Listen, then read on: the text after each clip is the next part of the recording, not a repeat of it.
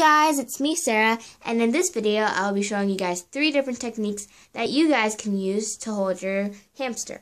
So as you can see, little Coco is in her playpen, and in here we have a green silent spinner, a red animal barn, a cheesy chew, a two-story hamster hideaway, a um, acorn hideaway, and a barbell chew toy.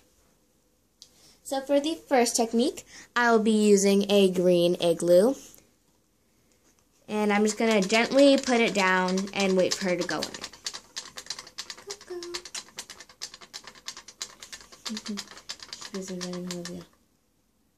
I'm just going to set it down.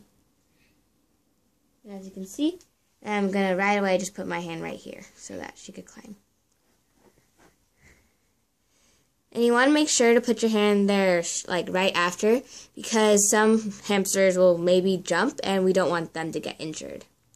And then I'm just going to set her down gently. So that was the first technique. Now for the second technique, I will be using some hazel hamster food. And I have some already here in the cap. And I'm just going to pour that into my hand and set it down so that she can go in my hand. An easier thing to do is like when they're running in the wheel, you can like put it there so that she'll go in your hand like that.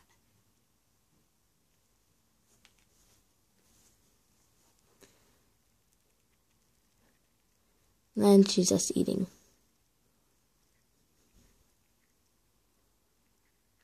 So that's like something easy to do. Like if they're running in a wheel, you can just put your hand under it and with the food so that she easily gets into your hand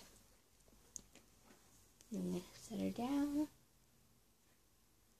So that was the second technique.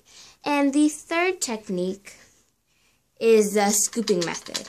Now, sometimes this method may not work for all hamsters, but um, for Coco, she sometimes likes it. Um, she'll usually be better doing it like this. I'm just going to move some of these other items away.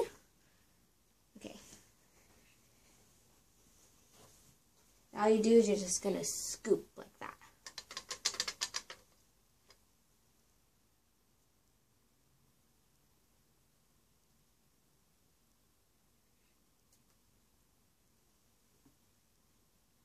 And I just did the scooping method.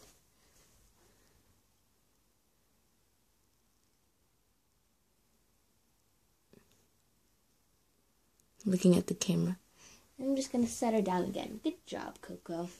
So that was the third and final technique. So to recap, the first technique was with the igloo. The second technique was with the food. And the third technique was the scooping method. Now, hopefully you guys all enjoyed this little video.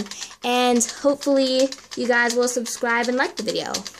So please comment, rate, and subscribe. I hope you enjoyed my video. Bye!